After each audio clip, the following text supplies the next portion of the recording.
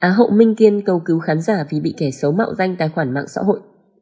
Mới đây trên trang cá nhân, Á hậu Minh Kiên đăng tải hình ảnh chụp màn hình tài khoản mạo danh cô. Đáng chú ý, tài khoản này còn đầu tư tỉ mỉ, nâng cấp lên cả tích xanh để đánh cháo dư luận với lượt theo dõi khủng.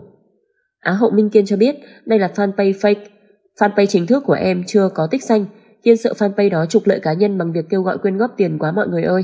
Giúp em report với ạ. Cảm ơn mọi người nhiều lắm. Chưa rõ mục đích là gì, Minh Kiên đã phải lên tiếng cảnh báo người hâm mộ để tránh những chuyện không hay xảy ra.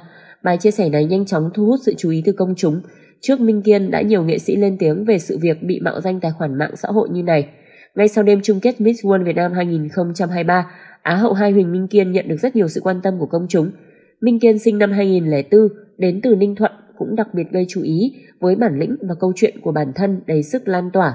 Cô được biết đến với câu chuyện truyền cảm hứng về nỗ lực vượt lên trong cuộc sống. Ba mẹ ly hôn từ khi Minh Kiên còn nhỏ, mẹ làm giúp việc, Minh Kiên sớm tự lập. Trong cuộc thi cũng như trong họp báo sau khi đăng quang, Minh Kiên không ngại khi chia sẻ mẹ mình làm giúp việc. Cô luôn lấy mẹ để làm động lực, cố gắng nhiều hơn, biến sự tự ti thành bản lĩnh. Trong chia sẻ với phóng viên, điều đầu tiên Minh Kiên muốn thực hiện sau khi đạt được danh hiệu là tôi muốn hoàn thành tốt dự án nhân ái cho các bệnh nhân ung thư vú nữ chiến binh hồng.